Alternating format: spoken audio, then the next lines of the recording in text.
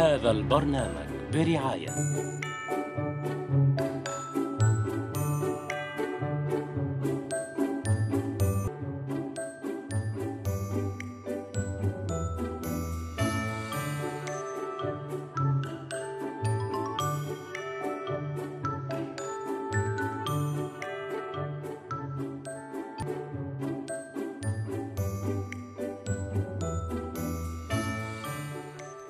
الله الرحمن الرحيم.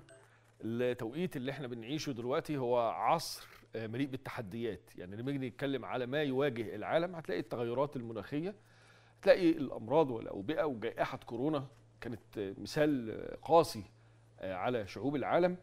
زيادة السكان ده في حد ذاته أيضا تحدي كبير بيواجه الحكومات. لأن أنت عندك غذاء يومي أنت محتاج توفره محتاج تقضي على الجوع وعلى الفقر. كل دي تحديات بتواجه هذه المرحلة. استخدام العلم بقى أمر ضروري. ما ينفعش إن أنت تقول أنا عندي تحديات وتفضل تشتغل بالنمط القديم في الإنتاج وفي الزراعة وفي الصناعة وفي التجارة حتى في التواصل والتعلم. أنت النهارده المفروض إن أنت بتحدث نفسك طبقا للمستجدات. إحنا شفنا على سبيل المثال رقمنة آه، كل الخدمات في الدولة المصرية. ما هو ده تحديث. في مصطلح منظمة آه، الزراعة والأغذية للأمم المتحدة الفاو آه، الجوع. الجوع مش معناه آه، عدم وجود الغذاء. لا ده كمان نوعية الغذاء نفسه. المواطن ده بياكل إيه؟ ده بيعود عليه بالنفع وعلى صحته. فالنهاردة أنت عندك هدف كمان إن أنت تنتج غذاء وانه يكون ليه مواصفات تتيح للبشرية مقومات الحياة ترفع من كفاءة المناعة. ده كله آه، بيخلينا ندور على البدائل نشوف إيه الجديد. هل في تركيبة محصولية هتتغير؟ ملف مهم جدا وفي غاية الأهمية وخاصة في نظرة الموارد. أنت بتتكلم على حصتنا من مياه نهر النيل 55.5 مليار متر مكعب سنويا 60% منهم للقطاع الزراعي فقط. وإحنا كده تحت خط الفقر المائي لأن الزيادة السكانية بتلتهم كل ما يتم إنتاجه. النهارده أنا بيشرفني وجود الأستاذة الدكتورة وفاء عامر الأستاذ بكلية العلوم جامعة القاهرة وعضو الاتحاد العالمي لصون الطبيعة. منوراني يا دكتوره ازي حضرتك؟ بحضرتك أهلا بيك. العنوان ده جميل أو أو اللقب الاتحاد العالمي لصون الطبيعة. أكيد. عايز أعرف أكتر عن الاتحاد ده. ويعني إيه صون الطبيعة؟ أوكي. ده سؤال كويس. صون الطبيعة هو الاتحاد أحد اتحادات الأمم المتحدة اللي بتهتم بالحفاظ على كل ما هو طبيعي. بس بالمقدمة فيهم هي الأنواع البيولوجية. إذا كانت نباتات أو حيوانات اللي جزء منها طبعا أكيد هو الجزء بتاع الحاجات الزراعية أو اللي بتستخدم في الزراعة. لكن الاتحاد العالمي لصون الطبيعة بيهتم بكل الأنواع اللي موجودة على الكون. من مفهوم من مفهوم آه، العلماء بيسموه حاجة اسمها deep ecology النظرة العميقة. ليه؟ لأن أنا لو اهتميت فقط بالأنواع اللي أنا عارفة استخدامها كده أنا نظرتي قاصرة. لازم أحافظ على كل الأنواع اللي ربنا خلقها علشان هي ليها استخدام بس أنا لسه ما عرفتوش أيوة. لأن ربنا ما خلقش كل هذه الأنواع هباء أو من غير معرفة. آه، والأمثلة كثيرة جدا جدا. يعني في وقت من الأوقات على سبيل المثال آه، كنا كانت الدول كلها بتيجي على الأماكن اللي فيها آه، بيسموها ال wetland أو المستنقعات وتبدأ تشيل الغ... ال... ال... ال- الحش... الحشائش اللي فيها والغاب والبوص وإلى آخره وتعملها تحولها لأراضي زراعية. اكتشفوا بعد كده إن هذه ال wetland أو المناطق الرطبة أو الأراضي الرطبة دي حتت مهمة جدا جدا مش بس عشان هي مهبط للطيور العالمية ودي على مسار الطيور العالمية بتعش الطيور بتعشش فيها وبتبات فيها وإلى. آخره الطيور المهاجرة. لا كمان حديثا لقوا ربط شديد جدا جدا ما بينها وما بين ال climate change لقوا إن هذه المستنقعات هي بيسموها بتستخدم لل carbon sequestration يعني بتمتص كمية كبيرة جدا من ال carbon dioxide اللي موجود في الجو. وبالتالي بال... وبتنتج الكثير من الأسماك ومن ال... يعني ال... على الأشياء الأخرى. مباشرة. فلقيناها بتدي خدمات بيئية أعلى بكثير جدا جدا جدا مما كنا متوقعين لكن كانت الدول في الأول وبقى لها اتفاقية اسمها اتفاقية رمسار و- والدول وقعت عليها بحيث إنها تقدر تحافظ على هذه الأراضي الرطبة وإلى آخره ده بس عشان حضرتك يعني في عجالة إنه أيوه الاتحاد العالمي لصون الطبيعة هي المفروض المقصود منه إنه بيحافظ على كل الأنواع اللي موجودة في العالم علشان من مفهوم آه، التنمية المستدامة زي ما هنتكلم مع حضرتك بعد كده.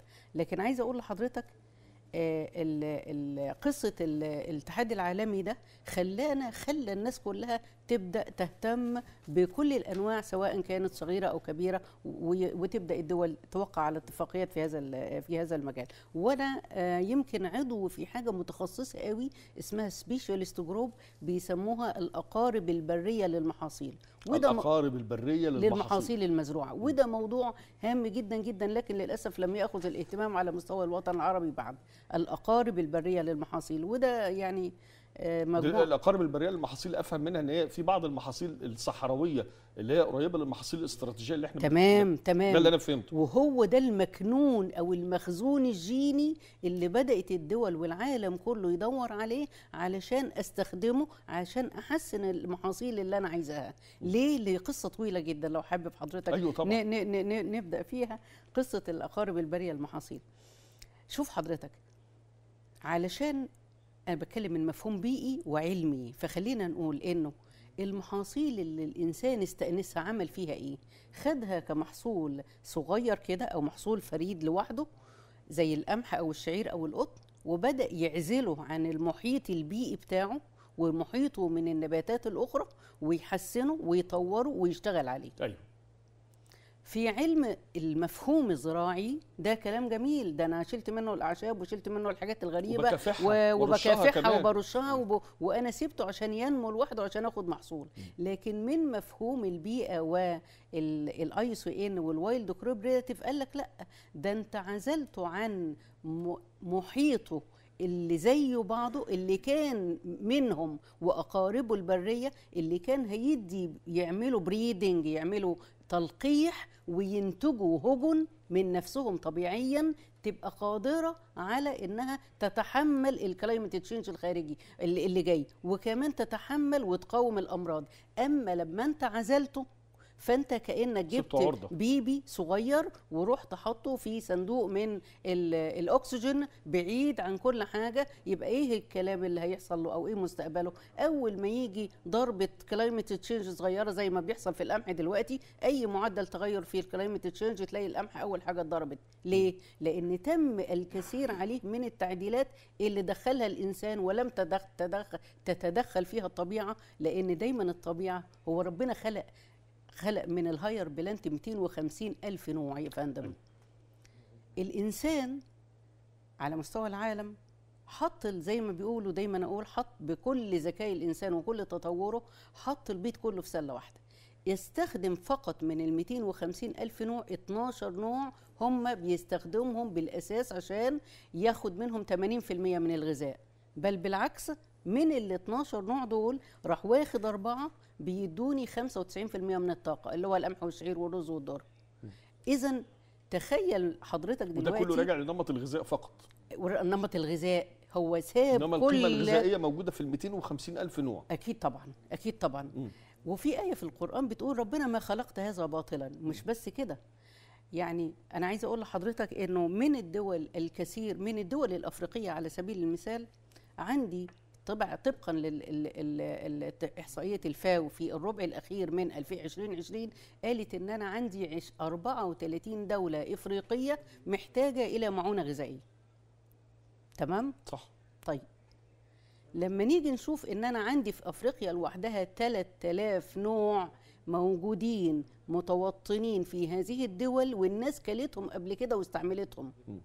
لكن لا الحكومات خدت بالها من هذه الأنواع تكترها وت- وتبدأ تنميها وتعمل عليها الريسيرش عشان الناس تكتفي من احتياجاتها. وعلى زي- فكرة إحنا كمان ممكن نشوف نمط غذائي في دولة أخرى نبقى مستغربينه إن هو بيقول لك بياكل المحصول ده. بالظبط. إحنا عندنا ما بيتاكلش. الفول البلدي عندنا في بعض الدول ما بتاكلوش. صحيح يسموه هورس بين ويسموه هورس بين ومحدش خليني أقول لحضرتك إنه ده ده يعني سيادتك كنت بتقول في التقديمه حاجة مهمة جدا. بتقول إن أنا عندي كورونا. الكورونا دي عملت إيه؟ قفلت الحدود في وقت من الأوقات. يعني ده معنى كده بيحط للدول وللعالم كله إنذار. إن لم تبحث عن مصدر غذاء محلي وتبدأ تنمي فيه وتبدأ تتعامل معاه علشان تقابل المشاكل المحتملة اللي جاية إذا كانت حروب إذا كانت أزمات مياه إذا كانت كورونا أو مثيلتها اذا إذا أنت عندك الشعب هيجوع. مش عايزة كلام. اذا لازم أدور على البدائل المحلية اللي عندي وأبدأ أشتغل فيها. وعلى فكرة عندنا بدائل محلية كثيرة. عندنا بدائل. لكن شوف العالم دلوقتي تخيل العالم من غير قمح. ولما أكيد هيحصل disaster طبعا. مش عايزة كلام. لكن فين بدائل القمح؟ فين بدائل القمح؟ العلماء بقى بيقولوا إيه؟ بتوع البيئة. يمكن عشان أنا متخصصة في تخصصك. البيئة أكتر من الزراعة. العلماء بتوع البيئة بيقولوا إيه بقى؟ ودي دراسات معمولة. بيقولوا إنه العالم كله في ال climate change أو التغيرات المناخية القادمة هتخلي أحزمة المحاصيل تتغير. بمعنى؟ بمعنى إنه المكان الحزام العالمي اللي كان بيطلع فيه القمح والشعير هيحصل له شيفت ناحية الشمال. مم. ويحل محله محاصيل أخرى تتحمل حرارة أكتر زي إيه؟ زي الرز والذرة. يبقى ده معناه إن إحنا لازم نخلي بالنا إن إحنا نبدأ نشتغل على محاصيل بديلة وإن الدول اللي معتمدة بالأساس على إنتاج بعض المحاصيل زي القمح تبدأ تفكر لأنه الحر بيزحف إلى الشمال. يعني الحر بيجي من ناحية خط الاستواء ويتجه في الحزام يمشي لبره. اللي خلانا برضو أنا آسف اني بقاطعك بس كلامك مهم قوي خلانا نقول إن إحنا التركيبة المحصوليه في مصر قد تتغير. يعني أشجار الزيتون اللي لازم. بتعاني من مشاكل بسبب التغيرات المناخية تمام. أكيد هتدخل محافظات أخرى في مصر. تمام تمام. وفي محاصيل زي المانجو. فالنهاردة إحنا الخط الاستوائي بيتحرك لأن دي محاصيل استوائية. صح. تمام. كلام حضرتك مهم جدا. أنا بس عايزة أقول معلومتين جد مهمين جدا جدا للسادة ال- ال- المشاهدين والسادة اللي عاملين في مجال الزراعة. للكلمة اللي حضرتك قلتها دي. أنا لما جه عندي حر موجة حر في شهر مارس اللي فات ضربت لي محصولين مهمين جدا. ضربت لي المانجا وضربت لي الزيتون. كل معصر الزيتون يقول لك ما عنديش ولا زيتونية وكل الناس بتوع المانجا يقول لك المانجا ما جابتش وشوية الرمان للأسف. خليني أقول لحضرتك هو ليه المانجا وليه الزيتون؟ المانجا لأنه ده محصول مجلوب. المانجا ليس مقرها آه، مصر مش موطنها الاصلي مصر. ده جالي من جنوب شرق آسيا. يبقى ده يديني معلومة للناس الزراعيين تقول إنه كل الأنواع المجلوبة هي هتبقى عرضة للتغيرات المناخية وهي أول المحاصيل اللي هتتضرب. اذا لما أجيب هجن من بره سواء أنا هزرعها لأي حاجة سواء كنت هزرعها لفاكهة لزهور ل... لنباتات طبية لمح... أي محاصيل أي محصول أنا جايبه من بره أخلي بالي إنه ده أول المحاصيل اللي هتتضرب. تاني حاجة المحصول اللي اتضرب هو الزيتون. ليه الزيتون؟ لأن الزيتون مناخ أبيض بحر أبيض متوسط. بيطلع في حوض البحر الأبيض المتوسط. وأنا كنت لسه من شوية بقول لسيادتك أستاذ سامح إنه مناخ البحر الأبيض المتوسط بيتحرك شمالا. وبالتالي هيجي عليا الحر اللي ما يناسبش الزيتون. والزيتون يبقى بينفع كويس قوي في جنوب أوروبا. وممكن بعد كده يتحرك إلى الشمال أكتر. وده معلومة مهمة جدا. بنقول فيها إنه الأنواع اللي كانت بتجود عندي آه، في آه، مناخ البحر الأبيض المتوسط مش هتجود في الأيام الجاية. كمان الأنواع اللي كنت بزرعها زمان وكنت متأقلمة عليها زي القمح والشعير لأ هتبدأ بتديني إنتاجية قليلة. صحيح أنا ببذل والزراعة وزارة وزارة الزراعة بتبذل مجهود والباحثين بيبذلوا مجهود. لكن. بالظبط لكن خلي بال حضرتك خلي بال حضرتك أنا بستنتج سلالات وهجن من نفس القماشة. من نفس من القماشة. نفس القماشة. من نفس القماشة. وده خطر جدا. أنا عندي يعني عفوا آه، آه، تمثيل خارج جدا أو مثال خارج جدا لموضوع القمح اللي إحنا بنشتغل فيه ده. أنا ويكاني ويكاني جايبة بلوزة قديمة وقاعدة طول الوقت قاعدة بصلح فيها وبمنتج فيها وأشيل الكم من هنا وأحط الكوله من هنا وأشيل زرار من هنا وأحط لها حتة جديدة من هنا. ده اللي أنا بعمله في القمح. تمام. يا فندم يا فندم العلماء يقول لك إن كل محصول أو كل نبات على الأرض له دورة عمرية. أيوه. بعد كده بيحصل له حاجة اسمها genetic erosion ال genetic erosion يعني إيه؟ يعني ينتهي من الطبيعة ويحصل له decline القمح ده أنا عملت إيه؟ من أول ما است- استأنسه المصري القديم 3000 عام قبل الميلاد حصل إيه بقى؟ العالم كله خده. هو المصري القديم مستأنس القمح والشعير وما زال عليه. يشتغل عليه طب ما خلاص ما هو تعب بس هو إحنا تعب. عندنا الإنتاجية ارتفعت. يعني لو حضرتك تشوفي الأرداب تمام. الفدان بيجيب كام أرداب؟ هتلاقي تمام. من 22 وفي ناس بتقول لك أنا جبت 30 و28 ده رائع لأن إحنا بقى؟ بنشتغل عليه وبنزود ال chromosome number وبنعمل معالجات وكذا علشان يديني إنتاجية عالية. بس ده مش معناه إنه هيقدر يقاوم التغيرات المناخية. لأنه كل ما أنا عالجت وعدلت في ال genetic constituent الأصلية بتاعته كل ما كان عرضة أكثر إنه يحصل له decline مع التغيرات المناخية لأنه فقد فقد بيحصل له حاجة اسمها genetic erosion وللسادة يمكن المستمعين اللي مش واخدين بالهم من قصة ال genetic erosion ده خلينا نبص في التاريخ ونشوف كتير من النباتات والحيوانات اللي انقرضت هي انقدر انقرضت ليه؟ عشان ما قدرتش تقاوم أو adapt آه، تتأقلم مع التغيرات المناخية. هي دي النقطة اللي أنا عايزة أقول فيها. بس ده حصل ح- مع المحاصيل الزراعية. يعني كائنات الحياة الك- الكبرى احجامها كبيرة حصل لها كده. تمام. إنما زي ما حضرتك ذكرت دلوقتي العالم كله مش في مصر بس بيشتغل عليها علمي. يعني إحنا تمام. عشان يطلع صنف جديد مثلا من القمح الباحث بيقعد من 13 سنة ل 15 سنة هو بيشتغل على الصنف ده لوحده. تمام. فده مش هيبقى برضه نوع من أنواع النجاح والتغلب على هذه المشاكل. أنا مع حضرتك. أنا مع حضرتك. تغلب لحد إمتى؟ م. تغلب لحد إمتى؟ هو ده السؤال اللي أنا بقوله. تغلب لحد إمتى؟ إحنا عندنا climate change ومع التغيرات المناخية ومع زيادة عدد السكان على مستوى العالم بنقول إن إحنا في 20 آه، 35 عايزين 30% آه، 35% على المستوى العالمي من زيادة الغذاء. في 2050 إحنا عايزين 60% زيادة عن الموجود دلوقتي. بالرغم إن في تحديات. أه، ده بالرغم إن أنا عندي تغيرات مناخيه زي ما حضرتك ذكرتي وعندي زيادة سكانيه وعندي أمراض و- وعندي زيادة وضعف سكانية في وعندي في انتاجية الأراضي الزراعية لأن هيحصل و pollution تصحر في بعض كتير. الأماكن. بالظبط. ونقص مية وكل الكلام ده.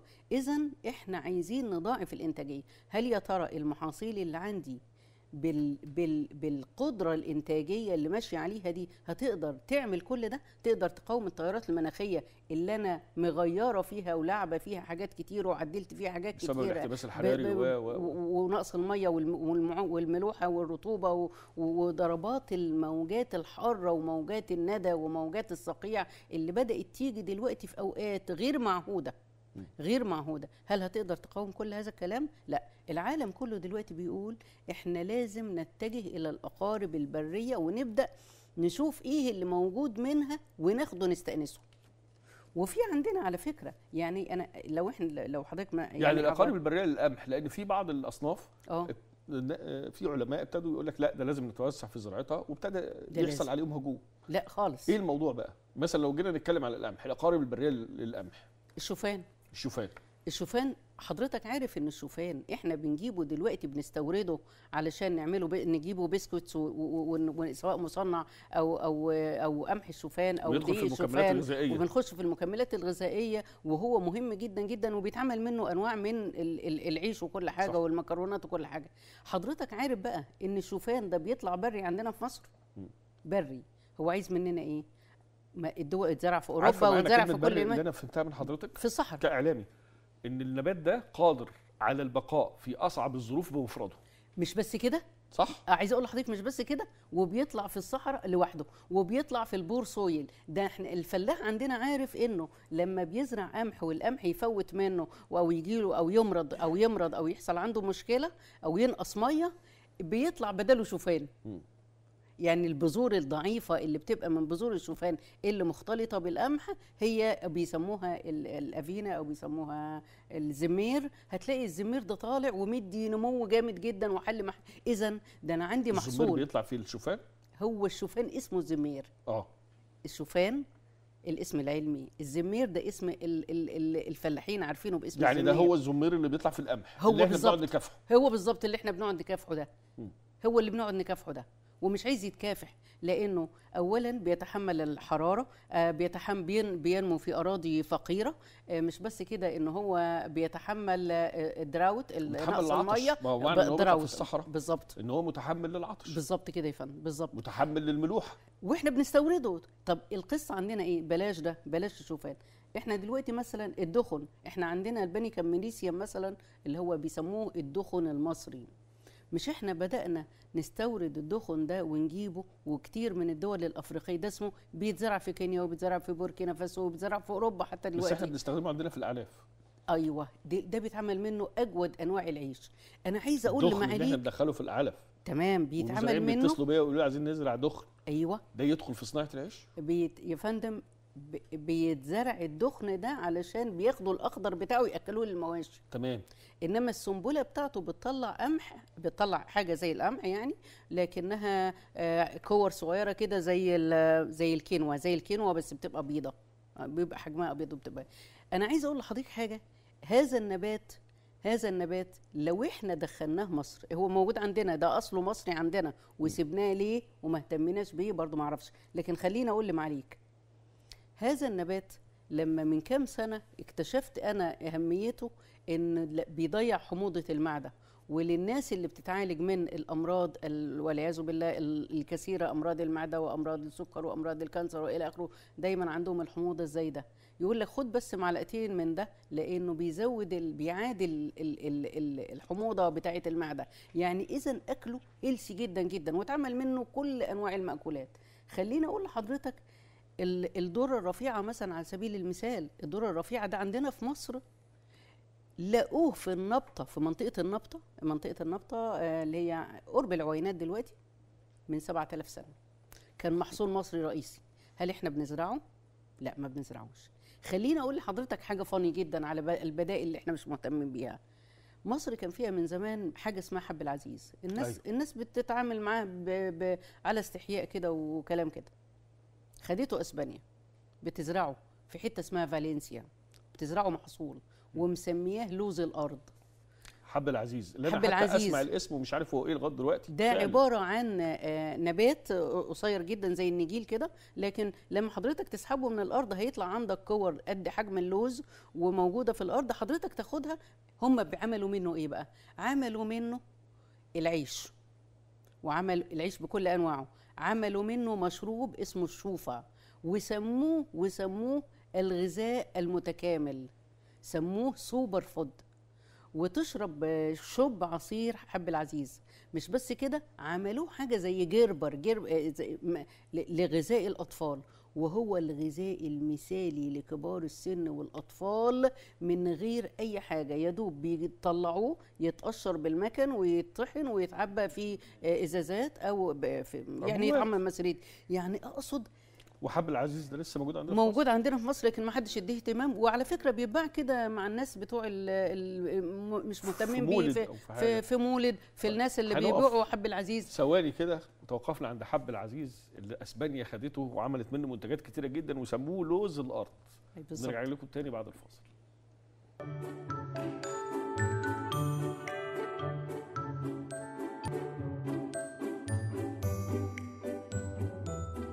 برنامج برعاية.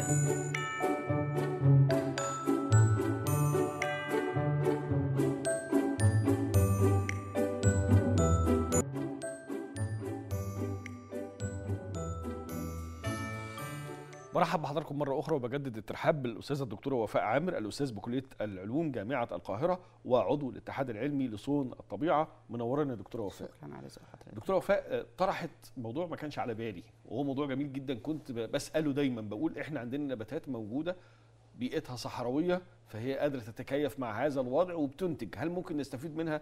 النهارده الدكتورة وفاء قالت لي لا في البدائل البرية للمحاصيل المختلفة وابتدينا نتكلم عنها وادتني أكتر من مثال جميل.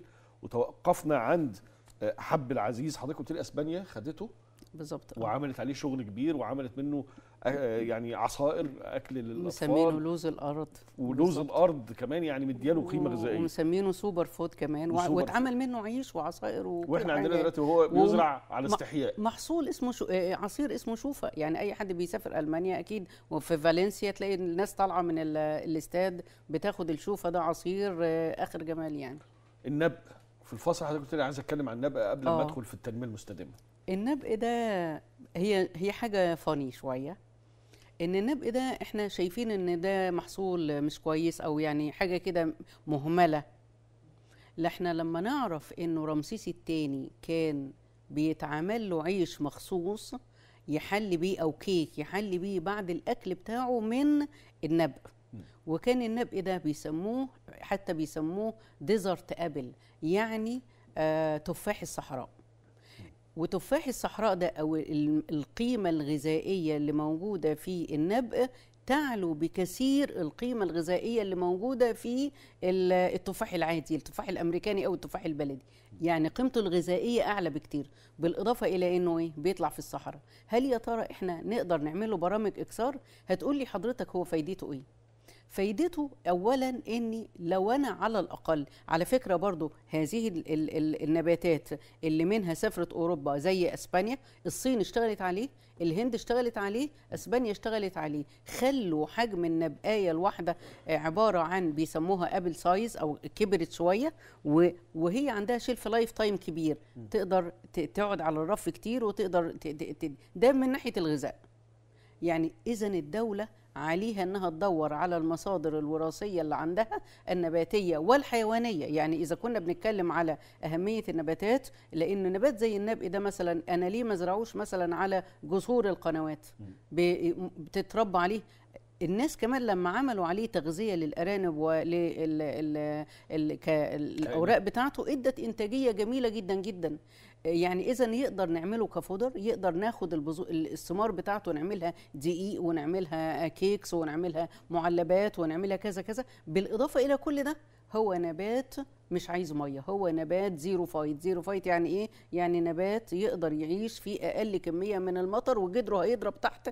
رويته مرة واتنين أنا مش عايزة أرويه بعد كده. خلاص. لكن هل يا ترى إحنا زي الصين والهند الصين والهند عملوا فيه آه، حاجة وفي عمان سلطنة عمان شفتوا بيجا- جابوا أنواع وفي الإمارات بدأوا يجيبوا الأنواع الكتيرة دي ويعملوا منها هجن عشان يحسنوا النوعية بتاعتها والى آخره. يعني يعني طب ناخد من رمسيس التا- ال- ال- ال- التالت يعني ونقول له أنت كنت بتعمل كده ليه؟ هنا بقى أنا عايز يعني- أشكر المهندس حاتم الكومي رئيس مجلس إدارة شركة الكومي جروب. ده راجل محترم جدا الصراحة. احتضن آه. الأبحاث العلمية والخبرات والكفاءات اللي موجودة في مصر. عندنا علماء الدكتورة وفاء بتتكلم في علم مهم جدا. وجابت لك الأصناف والسلالات والبدائل وممكن نعمل إيه وإزاي نصنعها ودول العالم وادتنا نماذج صحيح. لكن بقى لكم سنين مش لاقيين اللي ياخد بإيديكم أو صحيح، يخرج صحيح. البحث العلمي ده من صحيح. الأدراج صحيح ويطبقها على أرض الواقع صحيح. ابتديتم مع الكومي جروب مرحلة جميلة جدا جدا احكي لي كده عن تجربتك والخطوات اللي بتشتغلوا عليها والله الباشمهندس حاتم والكومي جروب بالذات هي مجموعة آه، متميزة عن غيرها الصراحة مش يعني يمكن أما شو تشوف مستثمر دي جديدة عليا إنك تشوف مستثمر بيلقط الأفكار الجديدة وعايز يطبقها ويتحمس ليها.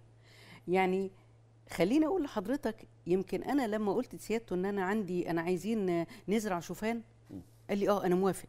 إحنا هنخصص حتة للز... وأنا نزلت بنفسي وجمعت بذور الشوفان وموجوده عندنا في ال- ال- ال- المخازن بتاعه الكومي لحد ما يجي وقت زراعة القمح والشعير نزرعه. تمام. آه، يمكن على اللي خلانا نقول الش- الشوفان البيونيكم برضه حابب جدا إن هو يجرب قصة البيونيكم ويزرع بيونيكم كمحصول علفي. ليه كمان؟ لأنه من الأفكار الج- الجميلة جدا اللي هو عايز يطلع بيها إن هو يطلع للصحراء. ويمكن برضه من الأماكن الواعده اللي واخدها واخد مساحة في الفرافرة ربنا يبارك له. آه، بدأ يشتغل بالفكر المتكامل. آه، كنت دايما أقرأ قصة ال integrated water management اللي هي الإدارة المتكاملة للمية. وعلى أرض الواقع هو مين اللي بيطبق قصة الاداره الإدارة المتكاملة للمية دي؟ يمكن لقيت عند المهندس حاتم إن هو عامل فكر جميل جدا إنه يزرع الطحالب السبيرولينا. وعلى فكرة هو رائد في هذا الموضوع. واشتغل وطور واحتضن واحتضن الكثير من التجارب وصرف كتير الصراحة عشان الحق في يتقال. آه، غذاء المستقبل. غذاء المستقبل لا محالة. أولا هو تحلب لكنه التحلب يستغل المياه يستخدم المياه ولا يستهلكها. يست يستخدم المياه ولا يستهلكها. وبالتالي بيقدر يديني كم من الإنتاج الكثير جدا جدا في فترة قليلة جدا من الزمن. القيمة الغذائية عالية لا محالة. ده ده غذاء رواد الفضاء. يعني متكامل آه، قيمة غذائية. أولا القيمة التصديرية والغذائية بتاعته مطلوبة جدا جدا جدا مطلوبة جدا على مستوى العالم. يمكن العلماء يا فندم بيبصوا على قصة ال algae دي على إنها غذاء المستقبل. وهنا هقف ثانية كده يعني مع الاحترام آه، ل- للكومي جروب والجروب العالم بيفكر بيقول إيه دلوقتي؟ وأنا كتبت مقالة مرة في 2002 في الأهرام كتبت لماذا لا نزرع لا نستزرع البحار؟ لماذا لا نستزرع البحار. إذا كنا إحنا عندنا نقص في المية وعندنا مشاكل في الط- الطلوع للصحراء طيب ما إحنا نقدر نزرع الألجي اللي موجودة في البحر دي لأن قيمتها الغذائية عالية جدا جدا جدا جدا صح. وبالتالي من الكوروليلا والسبايرولينا والدوناينيلا وكل هذه الطحالب والطحالب والأولفا والديكتيوتا لما تيجي حضرتك حتى تبص على ال as a food supplement أو أقراص هي بس هذه الطحالب بتتجاب وبتطحن في كبسولات ال 100 كبسولة ب 350 دولار مثلا على سبيل المثال من بعض الأنواع. اذا هي قيمة مطلوبة. مطلوبة إمتى بقى حضرتك؟ أهمية استزراع الطحالب مش بس إنه قيمة غذائية وليها قيمة تصديرية جميلة جدا وإلى آخره. هو غذاء المستقبل لأنه أنت متوقع إن يحصل لا قدر الله عندي مثلا shortage في في ال fresh water. يبقى أنت ساعتها هتعمل إيه؟ عندك مية مالحة. ما عندكش محاصيل تقليدية تقدر تعيش. عندي طحالب لأنه الفرد الكبير لو خد 100 جرام في اليوم أو 200 جرام من طحالب السبيرولينا هو شبع طول اليوم. 100 جرام بس. ال- ال- العلماء الفضاء كانوا بيطلعوا بيتغذوا بال tablet tablet من من هذه الأنواع من بالسبيرولينا. والسبيرولينا ياخدوها as tablet وبالتالي هو خد كل القيمة الغذائية هو ما كانش عنده أي مشاكل خالص في ال- ال- ال- الفضلات اللي في المعدة وإلى آخره وبالتالي فيعني آه، سعيدة جدا جدا بهذه التجربة. بس عايزة أقف عند حضرتك على آه، أكمل لك قصة ال integrated water management اللي تبناها حاتم بيه. ان هو قال إيه؟ أنا عندي طحالب أنا بنميها والمية موجودة عندي. المية اللي خارجة من الطحالب دي هنعمل بيها إيه؟ هنعمل بيها إيه؟ نربي عليها آه، آه، بط. آه، أو نربي عليها سمك. هو تبنى فكرة إن هو يربي عليها السمك لأنه البقايا الطحلبيه دي هيتغذى عليها السمك والجمبري. يعني هي بدل خل... هنا إحنا بنعمل عملين في نفس الوقت. بنعمل عملين. إن أنا بغذي الجمبري أو بغذي السمك على حاجة حية جميلة رخيصة الثمن فبقلل التكلفة. هي organic فما بزودش مواد صناعية ما فبخلي السمك أو الجمبري healthy جدا جدا. صح. طب خلينا نقف عند كده وهاخد بقى المية بقى من بعد الجمبري ومن بعد السمك هلاقي فيها nutrient كتيرة. ال nutrient كتيرة دي أو المواد المخصبة دي هي جاية من جزء من السمك جزء من الجمبري جزء من الطحالب نفسها. بياخدها علشان هنروي بيها الأرض بقى نزرع بيها المحاصيل العادية. يبقى أنا برضو عملت كده. أنا زودت مواد نيتروجينية وزودت مواد organic غذت الأرض. وعشان كده هو الترند بتاعه هو مسجل ما شاء الله معظم الأرض بتاعته organic. علشان يبقى أنا ما عنديش عنده حاجة سمعتها منه الصراحة يعني أرجو إنه يسامحني إن أنا يعني ب ب بتكلم كتير عنه. دايما يقول أنا عايز أنزل بالأكل ال organic إنه يبقى رخيص في متناول يد الجميع. وده تحدي. بس لو أنا دورة ال- المية أو دورة الزراعة دي إن أنا بوفر مخصبات بوفر كيماويات ما بشتريهاش وباخد المخلفات بتاعه السبيرولينا والسمك أو الجمبري أغذي بيها الأرض فأنا بوفر مخصبات. بدي حاجة healthy للناس تاكلها. آه كل ده الكلام ده. وبعدين دي كلها نواتج كمان بتبقى بدون أي تكلفة. بالظبط يعني يا فندم. الأساسي عندي طحالب السبيرولينا. بالظبط. ابتديت آخد منها أغذي السمك والجمبري فأنا ما. صرفتش اعلاف بالظبط. أو قللت نسبة قللت الاعلاف قللت. ما هو إحنا مش؟ ممكن نمنع. آه. قللت قللت. تمام؟ هاجي بعد كده كمان المية اللي موجودة دي أسمدة آه، طبيعية. ما فيهاش أي مواد كيميائية. بحطها للمحاصيل أو للنباتات. الطبية أو للنباتات الطبية. فأنا يعني عملت حاجة اسمها integrated water management بحيث في الآخر يبقى أنا عندي zero waste. عندي zero waste من المخلفات عندي اقلل استهلاك الكيماويات أقل أعمل حاجة اسمها healthy food وقصة healthy food دي قصة يعني شديدة جدا. يعني العالم حتى بيتكلم دلوقتي بيقول إيه أأكل الناس غذاء من المعدل وراثيا ولا اسيبهم يجوعوا ويموتوا أنا وكاني بتكلم وبقول إيه تحب تموت ببطء ولا تحب تموت على طول؟ ما هو كده كده هيموت. كده كده هيمرض ويموت. يعني لما تشوف حضرتك يعني أنت عايزة توضحي إن ما ينفعش إن أنا أقول لك أنت مضطر إن أنت تاكل ده. بالظبط. لا أنا عندي البدائل الطبيعية اللي أزود بيها إنتاجي وعندي كمان في مشكلة هتقابلكم. أكيد فكرتوا فيها.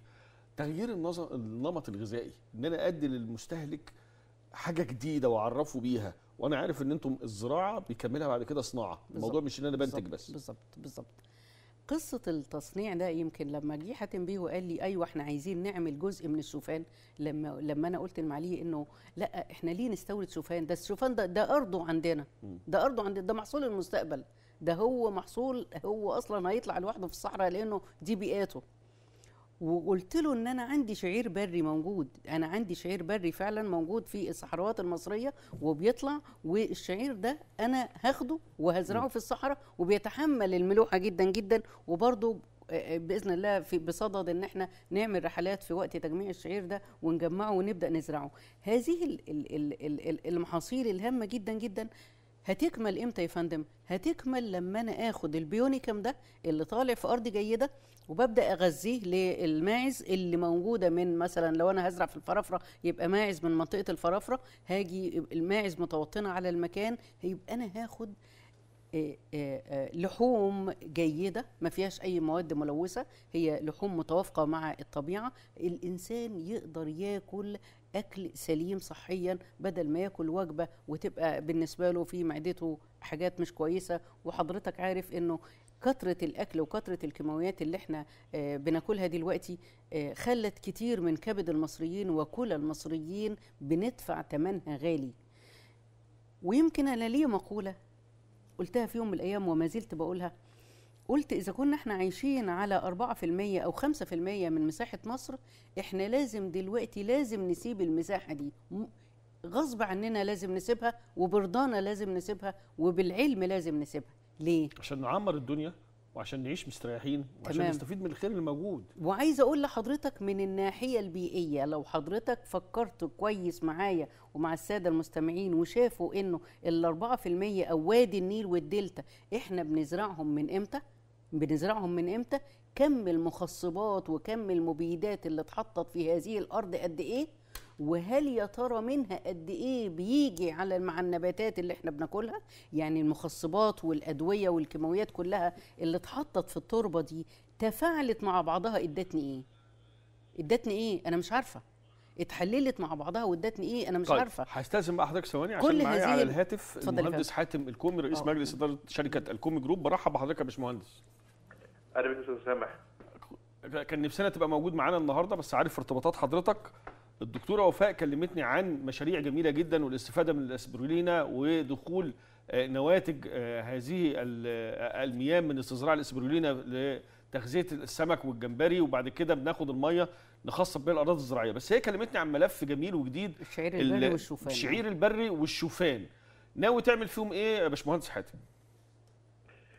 تمام؟ هو طبعا كل ما هو super food هو داخل في دائره اهتمامنا وهم نتيجة طبيعة الم- بينشأوا في الطبيعة المصرية.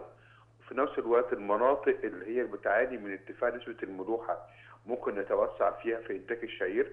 وإنتاج الشعير والشوفان لي- لي- لي- ليست نباتات أو محاصيل لعلاف الحيوانات لا ده ممكن تبقى داخلة في مجال الت- التغذيه البشرية. وهيبقى مجال super food فان شاء الله إحنا هنتوسع بيهم على نطاق واسع في منطقة المغره بإذن الله. بإذن الله. المغره دي مثال بس أنا عارف إن أنتم دلوقتي ابتديتم تتوسعوا. آه، الوادي الجديد أخباره إيه؟ آه، صعيد مصر.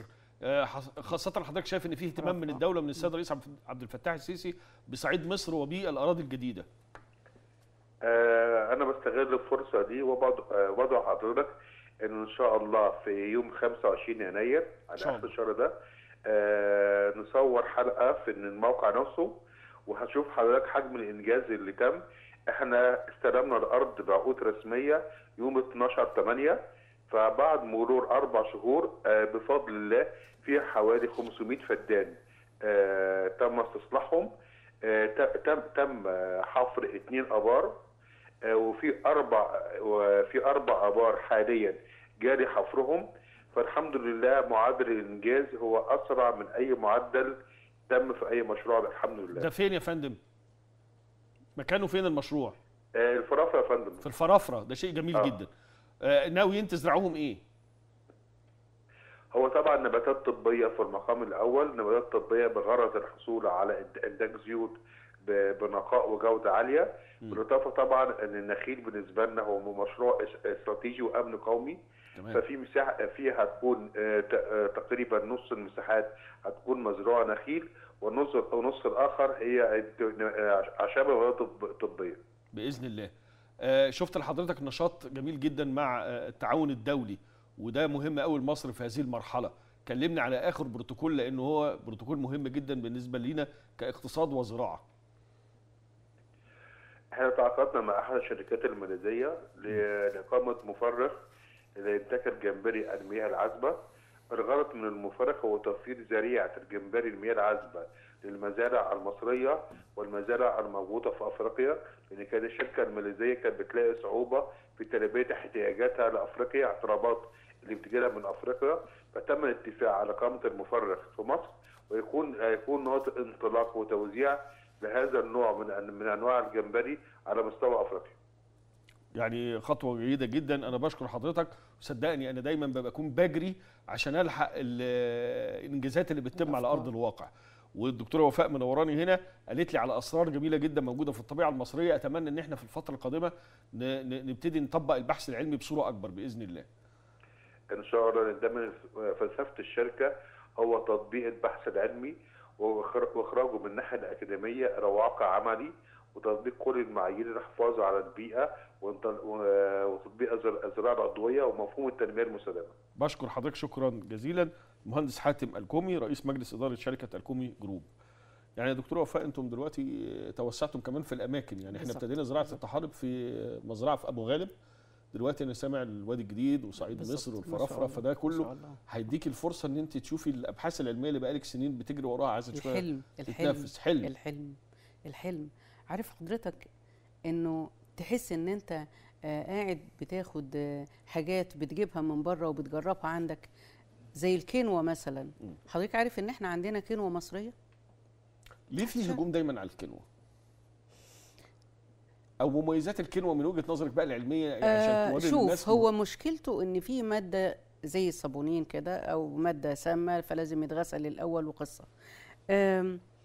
لكنه خليني أقول لحضرتك أنا هجومي عليه أو أنا مش بهجم عليه أنا بس عايزه أقول لكل الناس يا يا أساتذتنا يا بتوع الزراعة أو اللي ممارسين للزراعة على أرض الواقع من فضلك ما تلجأش إنك تجيب سواء كان نبات أو حيوان أو نوع من الأسماك من بره إلا لما تبص على المصادر المحلية اللي عندك وتدور عليها وتشوفها. يعني مثلا لما كان حضرتك من شوية كنت بتقول لي ال sustainable development التنمية المستدامة. التنمية المستدامة يا فندم لما جم في جوهانسبرج في ال Earth Summit 1 أو في آه، في ال Earth Summit 2 اللي هو قمة الأرض 2 اتفقوا على حاجة كده اسمها إيه؟ لازم نعمل تنمية مستدامة. إيه هي التنمية المستدامة؟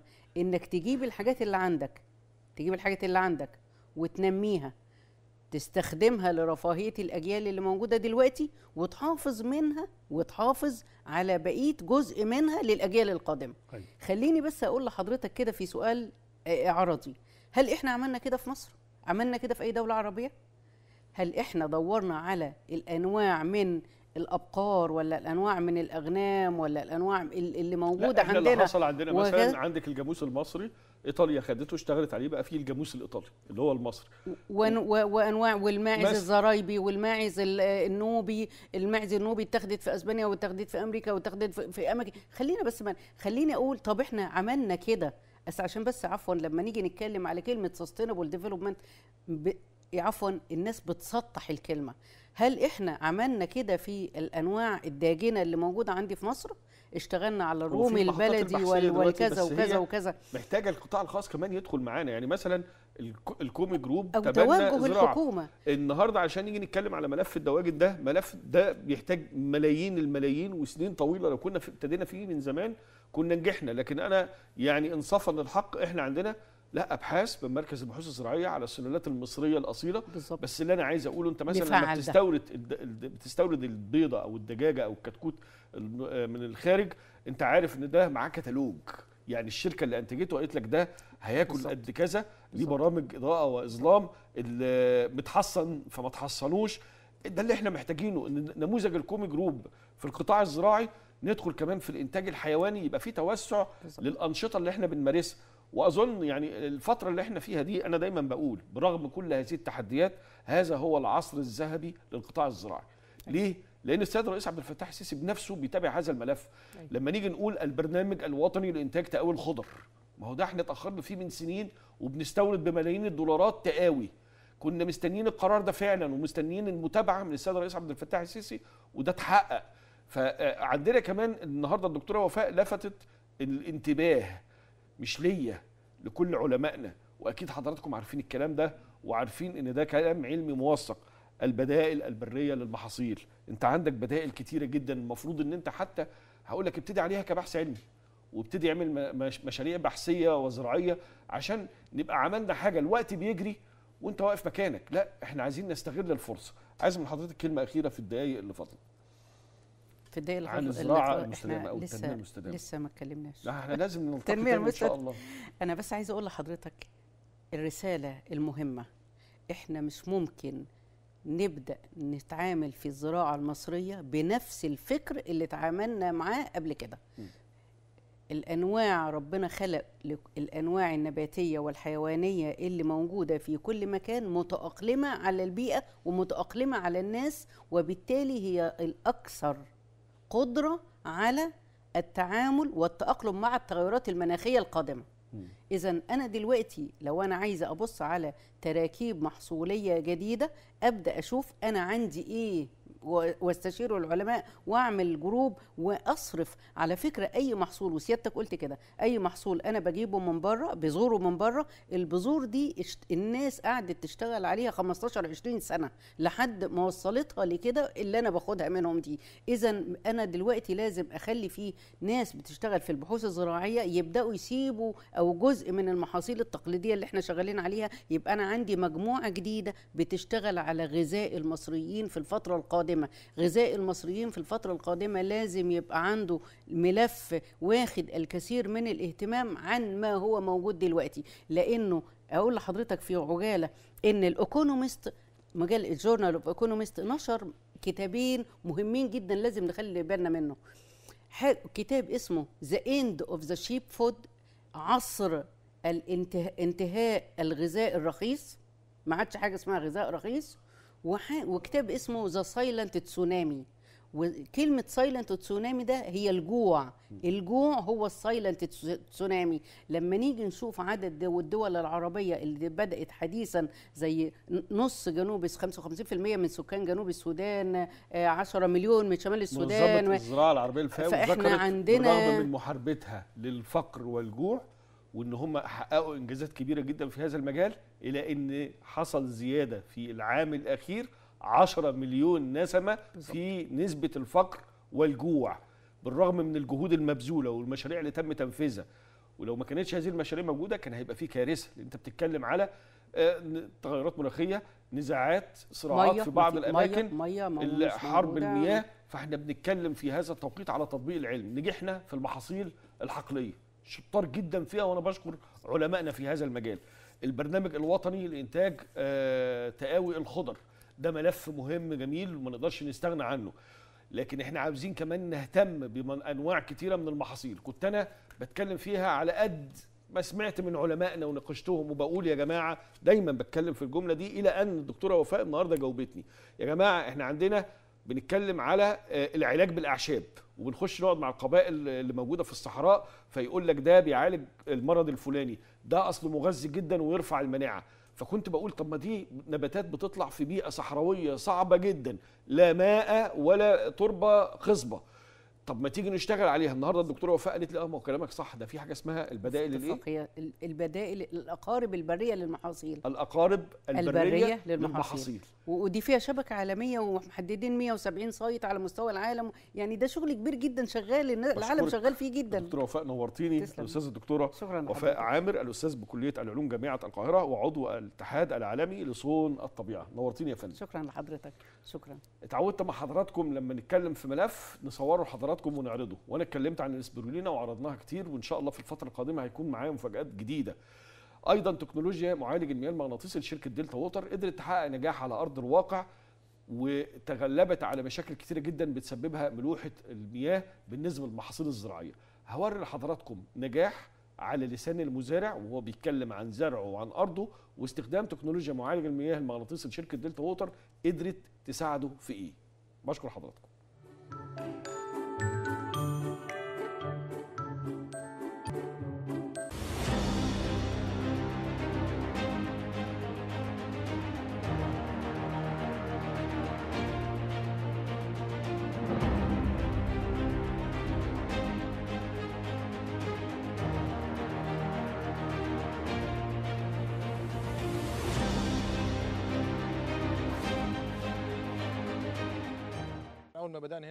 كانت الميه حلوة بعد كده مشاكل الملوحة بدأت تجابلنا آه شوية. البير رفع معاك. البير رفع الملوحة رفعت لحد 800 جزء في المليون. كان كام الأول كان آه، 350 آه كانت الفراولة بقى شغالة على لا ما كناش 350. لسه زرعنا الفراولة كنا لسه بادئين نجهز الأرض وكده وبدأنا نزرع. آه.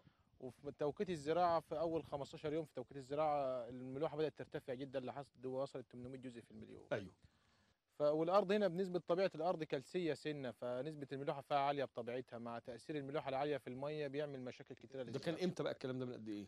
الكلام ده كان تقريبا في 20 9 كده. أنا كلمت كذا حد من الجماعة الاستشاريين اللي معانا اللي بيتابعوا محصول الفراولة فطبعا كله قال لك مش هينفع زراعة على ال 800 جزء. على 800 جزء لازم تدق بير تاني أو كده. فطبعا ربنا سهل الحال إن في واحد آه، قريبنا يعني منزل الجهاز من فترة قريبة كده وعمل معاه شغل حلو. فادانا رقم الدكتور محمد والحمد لله تواصلت معاه وجه يركب الجهاز على طول بفضل الله يعني الحمد لله الدنيا غيرت خالص.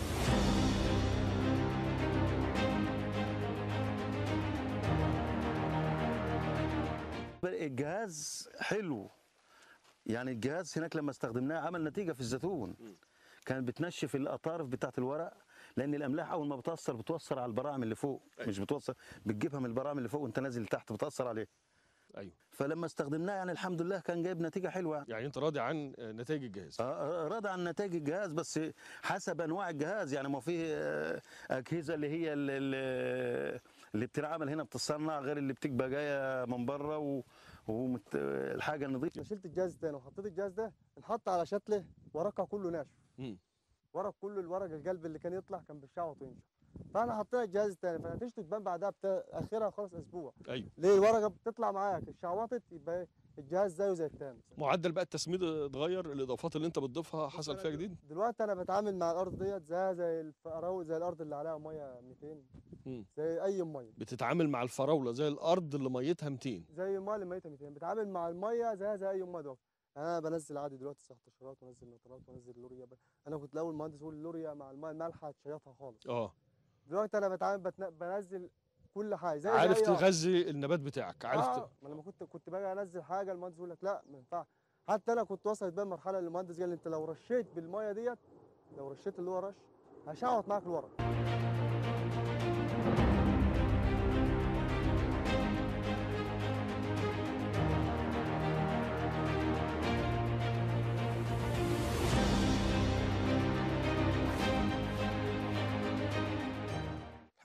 العالمين كان عندنا مشكلة واحدة مشكلة الأملاح الزايدة في في الميه ودي طبعا على مستوى الجمهورية. طبعا دي كانت مشكلة بالنسبة لنا جامدة جدا بقالنا ثلاث سنين الشتله عندنا بتطلع لونها أصفر آه مش مظبوط الجذور مش مظبوطة قوي برضك فربنا كرمنا وتعرفنا على جهاز Delta Water يمكن عرفناه عن طريق التلفزيون برضك والانترنت فربنا كرمنا وتواصلنا مع الشركة والشركة جت وجالنا الدكتور محمد حجازي فعلا ركبنا الجهاز يوم 31 8 قبل الزراعة والحمد لله يعني في مجهود في مجهود من الشركة كويس جدا وإحنا شايفين وملاحظين بعينينا في تغيير تام السنة دي عن السنين اللي فاتت.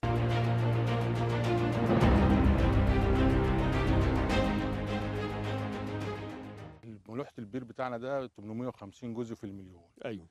850 ديت ما, ما تصلحش لزراعة نبات الفراولة أو الموز. أيوه. والفراولة بالذات لأن الفراولة حساسة محتاجة ملوحة أقل من 500 جزء في المليون. آه، لما جينا هنا حبيت نشتغل جبت جهاز ملوحة مع Delta Waters بسم الله ما شاء الله الزراعة باين عليها لون جميل ما فيهاش اصفرار ما فيهاش ضعف عام لأن الملوحة بتعمل ضعف عام للنبات وبتأثر على جذر النبات. بسم الله ما شاء الله النبات صحي ملوحته ملوحته بتنزل يعني الجهاز ده من فائدته إنه بينزل الملوحه نسبة النص بالظبط يعني. فبسم الله ما شاء الله الزراعه ممتازة على الملو على الجهاز ده. الجهاز ده ثبت فعالية جميلة جدا جدا جدا.